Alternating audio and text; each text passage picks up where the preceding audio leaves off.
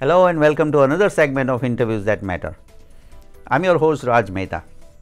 Friends, in this segment, we bring those guests who influence our lives. This includes elected officials, policymakers, heads of major organizations, and other dignitaries. It is my sincere hope that the knowledge brought in by these guests will help our community. Today we have such guest, Nassau County District Attorney Kathleen Rice. Kathleen Rice has a successful career as a district attorney for nine years and now she is running for our US Congress. Let's meet Kathleen Rice. Dear, thank you so much for coming here. Thank you for Appreciate your time this morning. Um, we normally start with the background of uh, uh, our guests. So let's start with you. I know you have been already in the show before, but let's refresh the memory of the viewers. Sure. So I uh, was born and raised right here in Nassau County. Okay. Uh, my parents moved out here from Forest Hills in the 1950s, a long time ago, Wow. and raised uh, all 10 of their children. They had 10 kids. I'm the seventh of 10 children. Wow. And they, like a lot of people, focused on education and also the importance of encouraging all of us to do something to give back to the community. So, uh, my father always said when I was younger that he knew I was going to go to law school.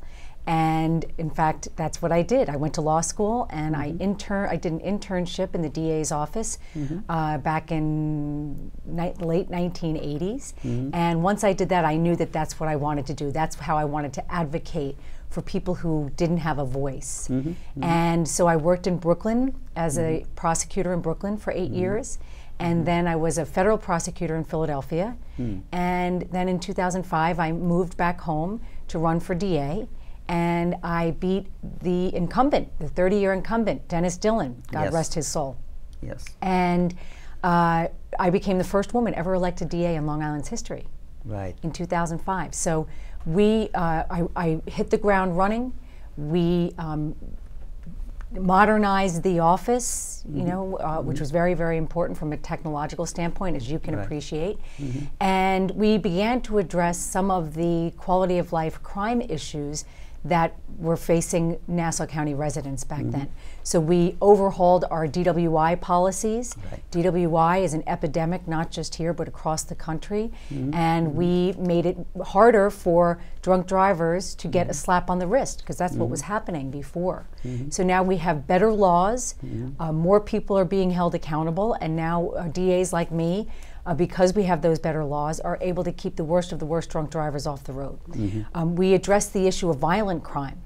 Too many violent criminals were given the opportunity to plead guilty to a non criminal offense. So we uh, made that more difficult. We uh, trained our prosecutors so that they would know how to be able to go into court and try cases. So we didn't plea bargain as many violent crimes out. And now we have more violent criminals going to prison where they belong and um, a higher conviction rate. And the other thing that we did was we instituted a bunch of, of educational programs in our schools. So we teach our high school, grammar school, and, and middle school and high school kids about the dangers of drinking and driving through our Choices and Consequences program. Uh, um, the dangers of heroin and prescription drugs in our uh, the Not My Child program. And then we have a program called Stop Then Send, which educates kids and parents and teachers about the dangers of all of the technological devices that kids have these days, whether it's an iPad, iPod, cell phone, whatever it is. So those educational programs have been great. We uh, put a, a high emphasis on um, professionalizing the um, the Special Victims Bureau because that bureau handles cases and crimes against the most vulnerable in our community, our children and our senior citizens. I also put a lot more resources towards our white collar crime areas. We created an economic crime bureau. We started a Medicaid fraud bureau, and we have uh, convicted more um, corrupt public officials than ever before in this county. Unfortunately, corruption is here in Nassau County as well. And whether whether you're a Republican or a Democrat, if you betray the public trust, you're going to be held accountable. So it's been a very busy nine years. I was years, gratified to get reelected last year by a very big margin. Mm-hmm. Uh, and it's been my great honor to serve the 1.3 million people of Nassau County as their district attorney. Right. So when you walked in first in the office, and now there's a, so many programs that you have instituted. and I'm sure that you got so much good results for the people. Very good results. Very good results. It was uh, th- there. We are very fortunate to live in a county with relatively low crime, mm-hmm. given mm-hmm. the mm-hmm. size of our popu- of our community. Right. Um, and that's because I've always tried to institute very proactive programs. It's Right. not enough just to prosecute crimes once they happen. Right. My job is to actually try to prevent crime from happening. So whether it's doing our gun buyback programs or our creative prosecutions involving the Mm-hmm. Walmart uh, tragedy that happened in Valley Stream or the SAT cheating scandal, Mm-hmm. we try to approach uh, bad situations Mm-hmm. and turn them into positives. So, for instance, when we had the cheating scandal where kids were paying other kids to take the SAT and the ACT for them, those kids were all charged, they were all arrested, which was appropriate because they broke the law. Mm-hmm. But we also worked with the administrators of both of those college entrance exams Right. to ensure that this kind of criminal impersonation could not happen again. And we got them to do it. They paid for it all, the administrators, and now it's uh, there's a level playing field so that honest kids who mm-hmm. play by the rules Right. are not taking a back seat to cheaters. We all know how important a college education is. Mm-hmm. It is the greatest single factor uh, that can affect the um, effectiveness of a person going forward in their life in terms of getting a family supporting job. Right. So it was very important that we address that issue and do it comprehensively. And, and now those changes were instituted uh, countrywide. So I'm very proud of, uh, of the initiatives that we've done like that. So you consider yourself as a tough, toughest trial conviction um, rates. Oh yes, yes. Right, so yeah, well, you know, it- it- that. so the the problem, every system has to plea bargain. So you decide what cases you think are appropriate for plea bargaining. Right. I think that when you're talking about violent crime, Right. those are the cases that you have to be prepared to prosecute and try Mm-hmm. in front of a jury if you cannot plea bargain those cases. Mm-hmm. Because one thing that we enjoy here in Nassau County is a relatively low violent crime rate. But the Mm-hmm. way that you keep that rate low is by sending the message to people that if you cre- if you commit a violent crime in Nassau County, you Mm-hmm. are going to be convicted and you're going to go to prison. And that has an effect that has a deterrent effect as well. So what was the challenges like? You know, I'm sure that you know you, all these program instituting all these programs. I'm sure you must have faced a lot of challenges across. There were a lot of challenges along the way. Right. Uh, we had one of the things that makes any initiative that we do successful Right. is that we reach out to the community to have them partner with us. The Terrace Bedell initiative we did in the village of Hempstead was meant to root out the most uh, notorious open air drug market in the county. And that was right on uh, in the village of Hempstead on Terrace and Bedell. Now, before we did anything, we reached out to the community and we said, here is what we want to do. We want you to partner with us. Right. Why was that so important? That was important because in the old days, law enforcement just did what they thought was right and they didn't seek advice or help from members of the community. No one knows about what it's like to live in individual communities other than the people who live there. Right. So we reached out to them. They partnered with the, us on this initiative. And as a result, we reduced crime in that area by 70% overall, which is amazing. And the reason why it has stayed like that is because we engaged the community and they took a vested interest in the success of that initiative. And that's why we have long term success. Mm-hmm. That's always my goal. My goal is not just to take care of uh, one situation in the immediate, it's to always look for long term solutions to crime mm-hmm. problems so that we can mm-hmm. keep crime down in the long haul. Right. And education is the important thing, as you mentioned. Education is so important. Knowledge is power. Right. So whether it is a parent who says, "How do I keep my child safe on the internet?" Right. And we teach them how to do that. We show them the dangers that mm-hmm. kids can get into, the trouble that mm-hmm. kids can get into, whether it's cyberbullying mm-hmm. or going into chat rooms where they don't belong and exposing themselves to bad people. Knowledge is power. And the, we have to, what I try to do is identify a problem and show everyone what the problem is. And then that's step number one. And step number two is once you acknowledge what the problem is, Right. you try to come up with a solution. Right. Right. And that's right. what we try to do. Mm-hmm, So let me go back a little bit. You know, who was your mentor? I mean, you must have learned from somebody, and I, I, I know you've been, you know, uh, assistant district attorney in Kings County and all that. So that's where you learn your first step right here? Well, my first mentor in life was my mother, who was an amazing woman Okay. who raised 10 children. She was an only child and she had 10 children. Wow. And she did it with such grace and hmm. beauty and passion. And she encouraged all of her children. She instilled in us the values that she knew would uh, allow us to be good, productive citizens. Mm-hmm. And so she was my first role model. But along the way, in, when I was in law school, and of certainly hmm. in both of my jobs, I have mm-hmm. had um, a lot of women and men to look up to to help mentor me um, throughout my career. And fortunately, when I became DA in 2005, I was able to bring a lot of those people to come work here in Nassau County. Wow, okay. And which was so wonderful to me. It gave me such a, a great comfort and confidence and support to have the people who taught me to come and teach all of the new assistants in the office. So um, there are so many, I've been very fortunate to be exposed to a lot of really wonderful people that have uh, enabled me to be as effective as I've been as DA. Good, good, yeah. Now, uh, as a woman, obviously, right? Is there challenges that you face as a woman in, you know, male-dominant society? There are challenges as a woman in my position. Right. Now, keep in mind, I was the first woman ever to serve as DA, and that was in 2005. That was Right. only nine years ago now. Right, right. So I have been in a profession that has been populated uh, predominantly by men. Right. When you think of cops and cop shows, or you think of prosecutor shows, in Mm-hmm. the old days it was all men. Right, So when I became a prosecutor in 1992, uh, I was certainly one of a group of women, but we were very much outnumbered. I'm happy to say that in my office now we have more women prosecutors than we have men. Ah. So I think that we have been able to kind of do away with that that perception that this field of being a prosecutor is only a man's world. I think that we've kind of gotten past that.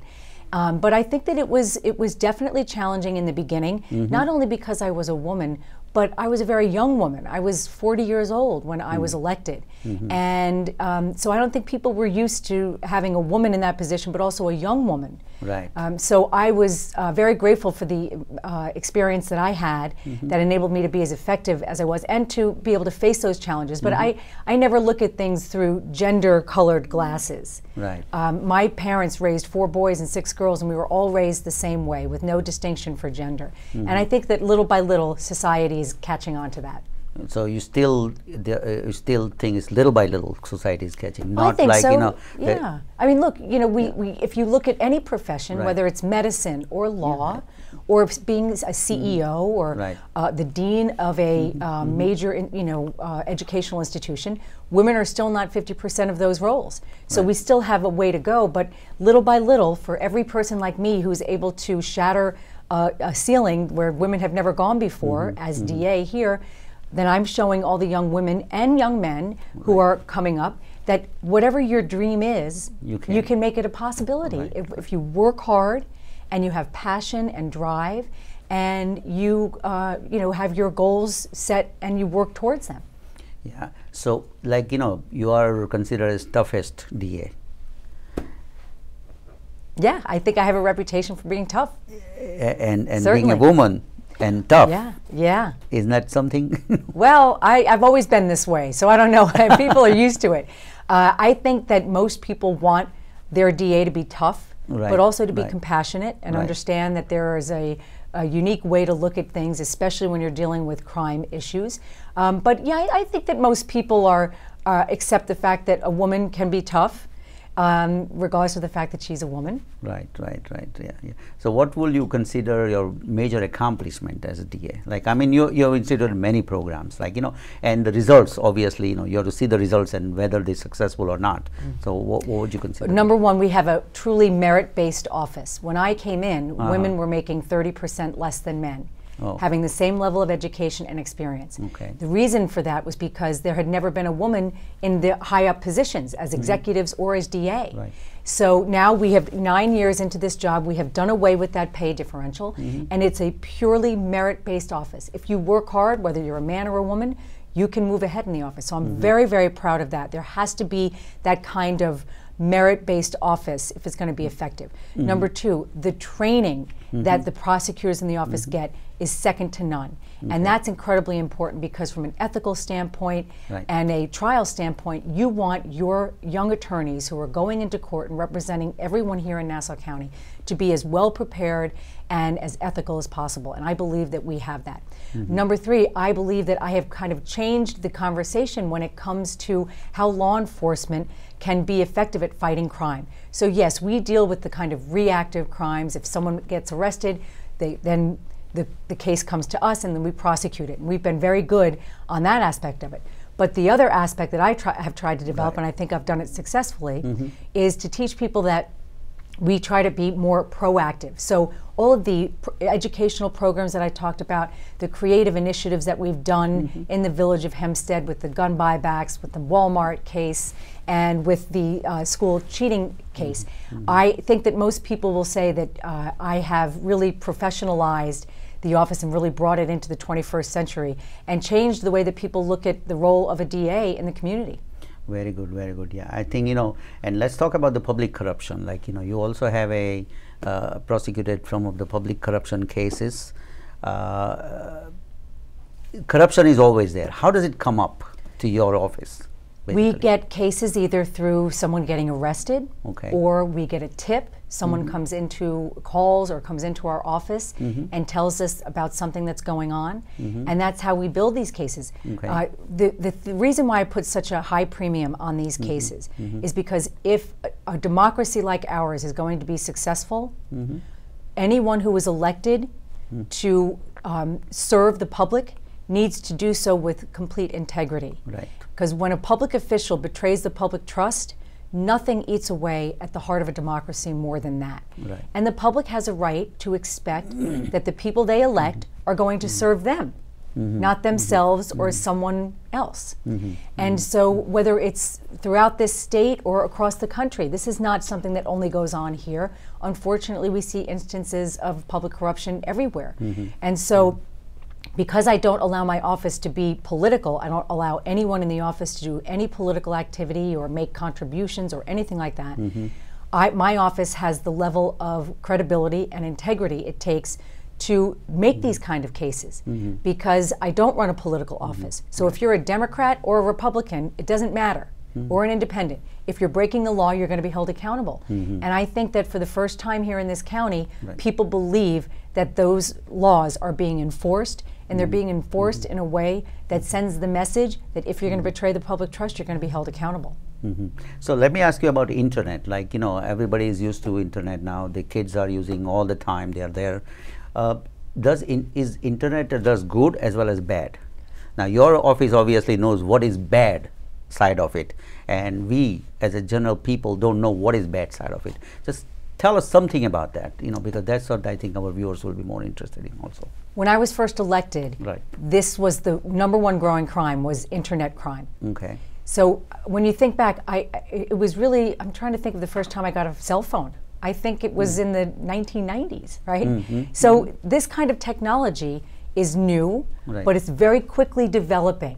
Mm-hmm. I think all of the technological advances we have made are fabulous. I think it connects us with people far away. Right. It allows us to do business more efficiently.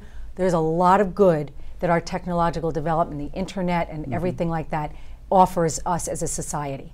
Mm-hmm. But that comes with a lot of bad. Right. Now you see more people committing crimes over the internet. Mm-hmm. So we constantly try to have to educate, especially seniors mm-hmm. who are particularly vulnerable, mm-hmm. about how to keep themselves safe on the internet. It's perfectly fine to shop over the internet and do things like that, but you have to be careful in keeping your private information private. Um, and especially now with young kids. When I was growing up, we didn't have cell phones. I, I go Right. into schools and I say to kids, guess what? I, I ask them to show me, how many of you have cell phones? Every hand goes up. Every has, And. I say to them, guess what? When I was growing up, there was one phone in the house and it was attached to the wall. Right. And you could only walk a certain distance away from it. Right. So, and, and the kids look at me and scratch their heads and as if I just landed from a foreign planet. Mm. So these kids these days are growing up with these electronic devices Right. attached to their hip. Right. And we have to make sure as parents Mm-hmm. as guardians, as adults in children's lives, mm-hmm. that we mm-hmm. give them the tools to keep them safe. And that's what our program Stop Then Send is all about. So I think technology is great, we embrace it, but the number one uh, growing crime is internet crime. So we have to make sure that we embrace everything that's good about it and protect ourselves from the potential dangers. Can you give an example of internet crime? Like, you know, what could, let's say, for example, my daughter, she's going on internet all the time, right? Yes. What could be dangerous for her not to do, So th- there is a one of these scams where you'll get an email right? purportedly from a loved one Okay. saying I'm stuck somewhere and I need you to wire me money. Right. And people say, "Oh my gosh, I've got to wire you money," Right, right. and then they wire the money and it's gone. Okay. So these are the kind of things you always just have to, you know, as they say, trust but verify. Right. Right. Okay. Everything, you know, there are other scams that you get. Now, the, a lot of this can be over the phone too, or through the mail. Right. You know, there's a bank account. Wait, mm-hmm. with your name on it that has mm-hmm. ten thousand dollars in it. Just send mm-hmm. me your personal information, and I'll write you a check. Mm-hmm. So there are all these kind of. They're very creative. They're mm-hmm. smart mm-hmm. people. They're using their brains for the wrong reason. Right. But you just have to. If I always say, if something sounds too good to be true, it probably is. Is not. and you should stay away from it. Exactly right. Yeah. So that is why you know even if somebody sends me an email or anything, the open a link, I never open it unless they tell me one. that I've sent you something. Exactly, exactly. I had that happen to me recently Right. where um, I was supposed to open this up and I, I said, you know what, this looks a little strange. Right. So I called my friend who sent it to me and I said, Yeah. did you send me this email? And he said, no, don't open it. There Everyone's telling me that. There you go. So you just have to, as I said, trust but verify. Right. Yeah. We'll take a short break and we'll be right back. Please stay with us. Welcome back to Interviews That Matter. I'm your host Raj Mehta. We are having a conversation with Nassau County District Attorney Kathleen Rice, who is also running for election this year in November 2014 for Congress. That's right. So I want to congratulate you for uh, uh, first uh, for winning the primary. Thank you. Okay, and uh, now you are the Democratic candidate for the congressional seat. Um, obviously, no, whatever you did on a district attorney's office and a Congress, now you're going to represent the Nassau County 1.3 million people, or well, district actually, to the United States government. Tell us something about that. What do you? Why do you want to do this? Well, I first want to say how uh, happy I am that I to have the support of Carolyn McCarthy. This congressional district, which is my congressional district, has been so well served by Congresswoman McCarthy over the past 18 years. She has been such a strong advocate for individuals, for families, for communities. So I'm very, very proud to have her support. But I made this decision for one reason Okay. People think that Washington is broken. Mm-hmm. Right? If you talk to people, they'll say, I, I don't like Congress. They don't get anything done. They just go there, they live in a bubble, and no one cares about their constituents anymore. Mm-hmm. And there's mm-hmm. partisan gridlock at historic highs, and we need to break through that if things are going to change. And that's why I decided to run. If I've developed a reputation for anything, it is for having a level of political independence that we need in Washington right now. Mm-hmm. I have got, been very successful as DA, not only by partnering with the community, but also partnering with my other colleagues in government, mm-hmm. whether they be Democrats or Republicans. Mm-hmm. I work very closely with both because that's how you get things done. And if I'm lucky enough to be elected, that's what I'm going to do for the constituents of the 4th Congressional District because that's what we need. We need to get government back on the side of the people and not on the side of the elected and the connected. Mm-hmm. What will be your priority? There are many priorities, and I think that when I when I tell you what the, what I want to focus on, Right. I think you're going to say yes. You know, when I talk to people in the community, they mm. talk about this oh. problem. They worry about the fact mm-hmm. that we have no mm. comprehensive immigration reform in mm-hmm. this country, Right. and that is a purely federal issue. I see the effects of having n- not having a policy, an- a comprehensive immigration policy, on the local level. I think we need to uh, work at getting a policy. Hopefully, we're close to that. But we mm-hmm. need to embrace everything that has made this country so richly mm-hmm. diverse, mm-hmm. but also do it in a way that keeps our borders safe and decreases likelihood of illegal immigration. Right? I think everyone agrees with that. That's a Right. pretty common sense approach. Right. We have to get the college student loan problem under control.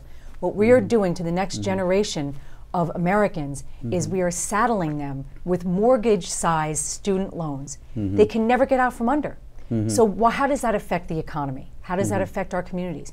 When kids are graduating from college, they're moving home with their parents because that's all they can afford to do. Right, right. So, they're not buying a car, they're not buying an apartment or a house, they're not getting married. They're putting off all of these developmental things that mm. people do in their life because they can't afford to do anything other than pay for their student loans. Right. We need to get that problem under control. Mm-hmm. We need to mm-hmm. deal, uh, we mm-hmm. have to figure out a way to support small businesses, especially in this congressional district. Small businesses are the backbone to successful communities and families. And so we need to figure out a way to encourage people not only to start businesses, but not to overregulate them to the extent that they can't be successful. And uh, so that's critically important. Mm-hmm. The other thing that needs to be done in this congressional district is what Carolyn McCarthy has been working on for almost the last two years, and that is mm-hmm. recovering from Superstorm Sandy. Mm-hmm. There isn't a congressional district in the state that was harder hit by Superstorm Sandy than mm. this one. Right. People are still not in their homes. Hmm. So we have to address that issue, make sure that people get mm-hmm. the money to mm-hmm. rebuild, mm-hmm. and that when we rebuild, we do it in a way that makes gives us a stronger infrastructure, so that when the ne- not if, but when the next storm comes, we're better prepared. Right, right, right, yeah. So now let's talk about the immigration reform. Like we are right now, the issue is that a lot of children are coming from Central America, and Americans are passionate people. Like we really, uh, you know, we welcome everybody. But do you think this, like, if you allow like this, right? I mean, a lot of people will come here. Is that good or bad? Not in, under these circumstances, that is not good. You're talking about young children, and they may be Right. fleeing very difficult situations, Right. but they're coming here, and some of them have family here, but most of them don't. And Mm. so this is a problem that obviously the, the government is working on now. Right. Um, but uh, we have to we, we have to set a policy Mm-hmm. that doesn't allow for this kind of influx of people, Mm-hmm. uh, especially children. Um, but you know, look, we need to have comprehensive immigration reform policies so Mm-hmm. that we can cut down on incidents like this from happening. hmm But these are like you know just walks in, right? I mean, they are not coming through a proper immigration No, they're law. not coming. No, not at all. But you know, obviously, these people feel desperate about Right. making sure that their children can, can grow up in a in a safe environment. And of Mm-hmm. course, we want all children, regardless of where they are from, to be able to have that security. Um, Mm-hmm. So, yeah, I think that once we are able to institute some kind of immigration reform, I think instances like this will become fewer you know, and far between. Uh, what about the healthcare? Is the new healthcare law? Do you think it's successful, like Obama, Obamacare? That's what they call. The it. Affordable Care Act Affordable Care is something that you know. My, my unfortunately, there are still, still people out there who are talking about repeal, repeal, repeal. Right. Uh, I think most people think that that is not a good idea. Mm-hmm. If there are, are parts that are broken, we need to fix them. Right. But you can't deny the benefits of the mm-hmm. Affordable Care Act. Mm-hmm. I just spoke about all these kids who are graduating from college, mm-hmm. 22, 23. They can't find a job, they're moving home with mom and dad. Under the Affordable Care Act, they can stay on mom and dad's health care until they're 26. Major benefit. Uh, if you have a pre existing condition, if you were diagnosed with a disease that you have overcome, you want to make sure that that is not going to be a, uh, a reason why you're going to be denied coverage in the future. So allowing for coverage with pre-existing conditions and not allowing any penalty for that, that is a major, major benefit. So there are very good parts of the Affordable Care Act, and the ones that are not so good, we just need to fix. Right. See, right now the Congress is, uh, I mean, Republican majority, and uh, you know, in order to do anything, you need some support from the other side.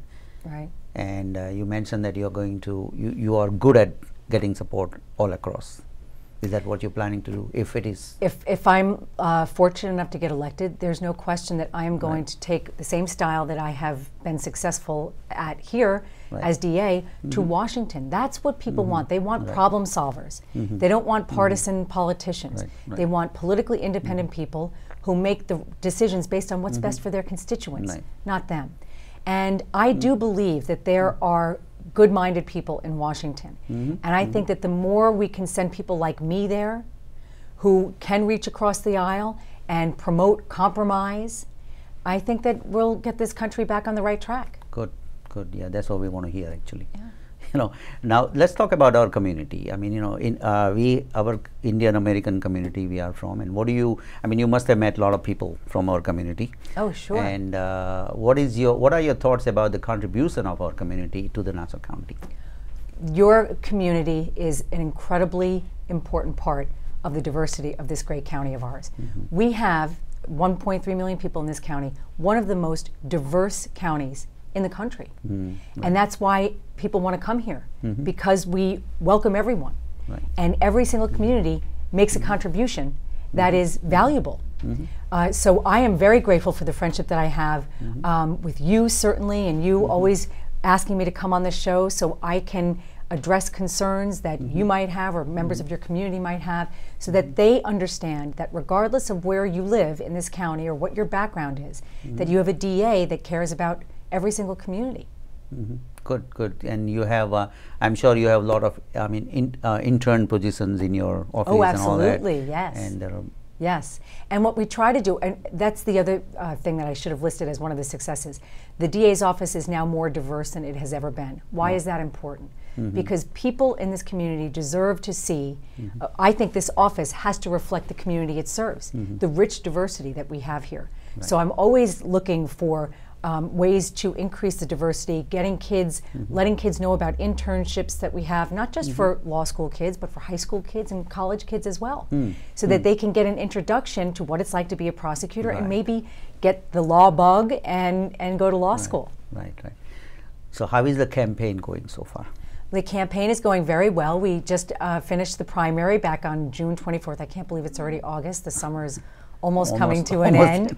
Uh, I'm looking forward to September and October. I think that when Mm-hmm. September rolls around, people are going to start focusing on the Mm-hmm. fact that this is an election year. It Right. might not be a presidential election year, Right. Mm-hmm. but it is an election year nonetheless. So we're electing and re-electing important positions like governor, Right. attorney general, comptroller, and we have a, uh, congressional races going on. So I, I would just ask you, and hopefully through this show, we will we will be able to remind people that mm-hmm. November fourth is election day, and regardless of who you vote for, of course, I'd love people to vote for me, but mm-hmm. regardless of who you vote for, mm-hmm. just go out and vote. Make your voice heard. Because if you don't go into the booth and place your vote, you can't complain about the people who get elected. Exactly, right, yeah. So what is your biggest challenge?